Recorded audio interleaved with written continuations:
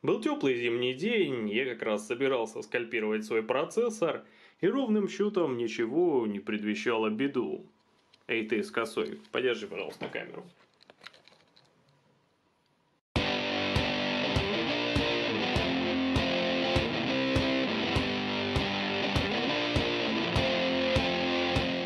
Итак, друзья, с вами как всегда Белыч, и у меня в руках оказался наконец-таки жидкий металл от компании Thermal Grizzly. А посему я наконец-то решился на скальпирование своего процессора 8-ядерного i7-7820X на платформе 2066.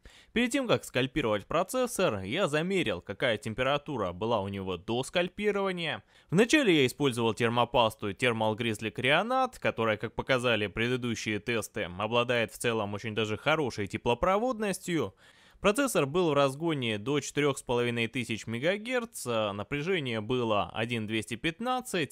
В итоге после 30-минутного теста Real Bench температура процессора составила 101 градус. Это очень близко к максимально допустимым 105 градусам, то есть, как вы понимаете, это не очень хорошо. Затем я решил заменить термопасту между моей водянкой Be Quiet Silent Loop 360 и процессором на жидкий металл. Пользоваться жидким металлом на самом деле оказалось достаточно просто и не страшно. Для начала с помощью специальной салфетки, идущей в комплекте с данным металлом, удаляется весь жир с крышки процессора из подошвы водянки, а затем выдавливается маленькая капелька жидкого металла и с помощью ватных палочек разносится по поверхности а, самой крышки. Достаточно тонким слоем, так тонко, как вы сможете.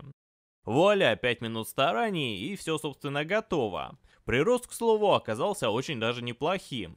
В аналогичных условиях разгона и тестирования максимальная температура процессора не превышала 92 градуса. И в целом на этом можно было остановиться, то есть это нормальная температура, но я пошел чуть дальше. Итак, как же происходило скальпирование? На самом деле все очень просто. Процессор зажимается в тисках, а желательно предварительно их губки проклеить бумагой или подложить какую-то картонку, чтобы избежать мелких сколов каких-то и также улучшить контакт а, данных губок с процессором.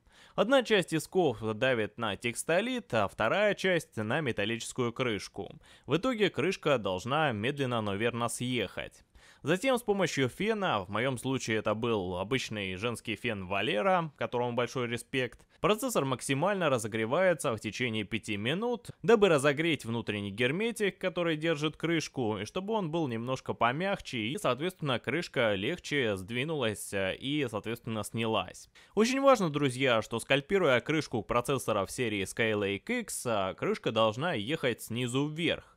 В любом другом случае есть гигантский шанс повредить внутренние мелкие элементы, которые находятся под этой крышкой. Ну вот, собственно, и все. С теорией мы закончили, процессор у нас разогрет, а значит пришло время надавить на тиски.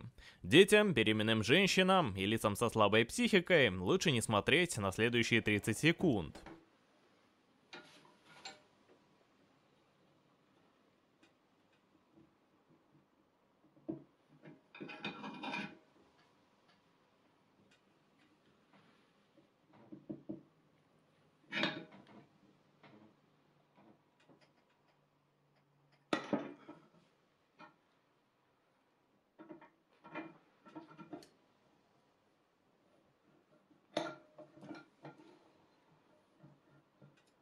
Воля, друзья, крышка у нас снята, правда я забыл, что она очень даже горячая и чуть не обжег свои пальцы. Давайте подробнее рассмотрим, что же у нас находится под крышкой процессора. Как вы видите, черное вокруг кристалла это у нас герметик, он приклеивает крышку к самому процессору. Остатки же серого вещества на кристалле – это у нас термопаста. Та самая жвачка, то есть пластичный термоинтерфейс, за который все так сильно ругают Intel в хвост и в гриву. Она почти вся осталась на металлической крышке, и консистенция ее на самом деле удручает.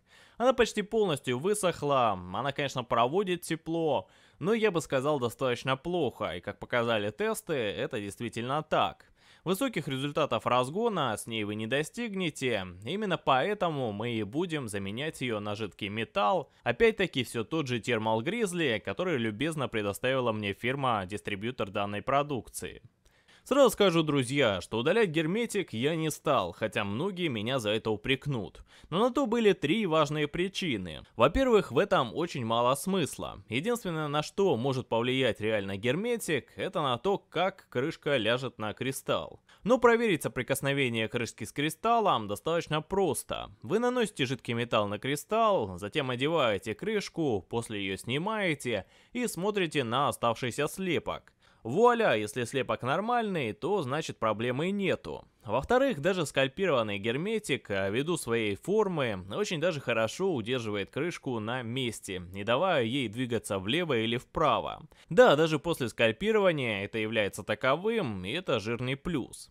Ну и третье, самое важное, герметик оттирается очень плохо. Пытаясь оттереть его, можно очень легко повредить мелкие элементы вокруг кристалла или поцарапать сами дорожки. Они остались живы после скальпирования, и случайно задеть их во время снятия герметика я явно не хотел. Ну вот как-то так, друзья. Теперь мы наносим жидкий металл. Для начала мы протираем нашу крышку все той же салфеткой Thermal Grizzly для обезжиривания. Салфетка влажная, остатки влаги я убирал предыдущей, более сухой салфеткой. Ну а когда кристалл станет идеально чистым, мы выдавливаем небольшую каплю жидкого металла и начинаем методичными движениями с помощью ватной палочки опять-таки распределять ее по поверхности кристалла, так чтобы остался ровный тонкий слой. Это займет у вас буквально пару минут. Ну вот, собственно, и все, друзья. Мы нанесли жидкий металл на кристалл и точно такую же операцию провели с другой частью процессора, а именно с металлической крышкой, на которую также желательно нанести жидкий металл для лучшего соприкосновения. Теперь мы все это дело соединим, проверим контакт и установим материнскую плату. Сверху на процессор я также нанесу жидкий металл. Можно, конечно, было, как делают многие, защитить внутренние элементы под крышкой с помощью лака для ногтей, чтобы туда не попал жидкий металл, но поскольку процессор достаточно горячий и неизвестно какого качества лак вам попадется, то я этого делать на самом деле не стал. Ну что ж, друзья, установил я процессор, все работает отлично, и теперь пришло время замерить температуру она оказалась на целых 10 градусов ниже, чем была в предыдущем тесте. Таким образом, за день, используя жидкий металл, я смог улучшить температурные показатели своего процессора. Это дает возможности не бояться за перегрев и даже повысить планку разгона выше 4,5 ГГц, чем я и займусь в ближайшее время. Вот, собственно, и все, друзья. Надеюсь, что видео вам понравилось. Может, кто-то решит скальпануть и свой процессор, правда, это рискованно, но чудаки, я уверен, найдутся. Если видео было для вас интересным, то не поленитесь нажать на лайк, подписаться на канал и поделиться им с друзьями. Быть может, для них это будет также интересно.